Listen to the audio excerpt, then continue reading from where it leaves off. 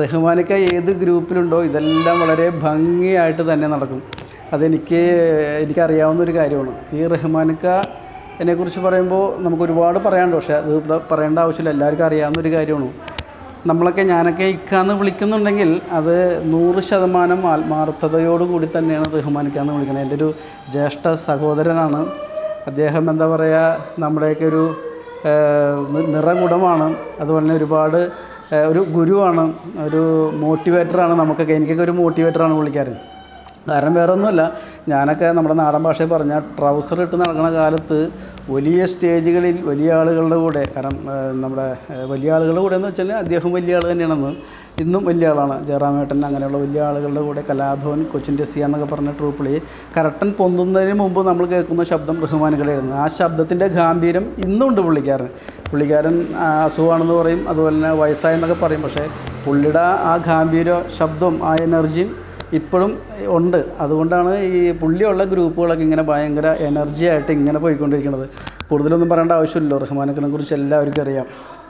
എന്തായാലും വളരെ സന്തോഷമുണ്ട് ഇന്നത്തെ ദിവസം വന്ന് ഉദ്ഘാടനം ചെയ്യാൻ സാധിച്ചതിൽ അപ്പോൾ ഇനിയുള്ള ദിവസങ്ങൾ പിന്നെ ഇന്ന് ഇന്നലെ വരെ ഇരുന്നൂറ്റി അമ്പത്തി ഒൻപതാമത്തെ ദിവസം വരെ വളരെ മനോഹരമായിട്ട് പോയാണ് പോയതാണ്.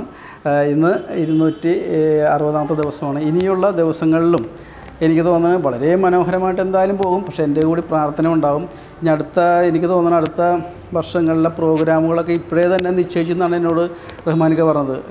അടുത്ത വാർഷികത്തിനൊക്കെ എന്തോ മാർക്കോസ് മാർക്കോസ് സാറിന്റെ ഗാനമേളയും അതുപോലെ തന്നെ വലിയ വലിയ പ്രോഗ്രാമുകളും വലിയ വലിയ ഇന്നോഗ്രേഷനുകളൊക്കെ ഉണ്ടെന്നാണ് എന്നോട് പറഞ്ഞത്. എന്തായാലും അതുണ്ടാവും. കാരണം അതൊന്നും നമ്മൾ സംശയിക്കേണ്ട ആവശ്യമില്ല. എല്ലാവരും നന്നായിട്ട് ഒക്കെ ആക്റ്റീവായിട്ട് നിൽക്കുന്ന ഒരു ഗ്രൂപ്പാണ്. എന്തായാലും ഇരുന്നൂറ്റി അറുപതാമത്തെ ദിവസം എനിക്ക് ഉദ്ഘാടനം ചെയ്യാൻ സാധിച്ചതിൽ വളരെ സന്തോഷവാനാണ് ഞാൻ. അപ്പോൾ എന്തായാലും ഈ ഇരുന്നൂറ്റി അറുപതാമത്തെ ദിവസം ഞാൻ ഉദ്ഘാടനം ചെയ്തതായിട്ട് പ്രഖ്യാപിക്കുന്നു. എല്ലാവർക്കും എല്ലാവിധ ഐശ്വര്യങ്ങളും നൽകട്ടെ. എന്നെ പ്രത്യേകിച്ച് പറയാനുള്ളത് ഇതിന്റെ എന്താ പറയുക വലിയ പറമ്പിൽ പരീതുക്കാം. അതുപോലെ തന്നെ അനീറ്റക്കുട്ടി പിന്നെ എന്താണ് ശ്രീഹരി സിനി മാത്യൂസ് ഇവരൊക്കെ ഇതിന്റെ അഡ്മിനുകളാണ് അപ്പോൾ അവർക്കും അവരുടെ കുടുംബാംഗങ്ങൾക്കും ഇതിന്റെ എല്ലാ മെമ്പേഴ്സിനും അവരുടെ കുടുംബാംഗങ്ങൾക്കും എന്റെയും എന്റെ കുടുംബത്തിന്റെയും എല്ലാവിധ ഐശ്വര്യങ്ങളും നന്മകളും ഉണ്ടാവും. അപ്പോൾ ഈ ഇരുന്നൂറ്റി അറുപതാമത്തെ ദിവസം ഞാൻ ഉദ്ഘാടനം ചെയ്തതായിട്ട് പ്രഖ്യാപിക്കുന്നു. എല്ലാവർക്കും നന്ദി. നമസ്കാരം. ടാറ്റ.